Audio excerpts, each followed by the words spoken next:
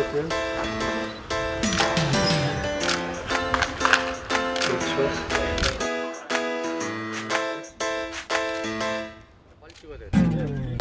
oh, 너 어딨니란 문자에 너는 집 앞에 있는 카페에 커피 한잔 한다 했지. 음 요새 커피숍에서는 다들 춤추나 보지.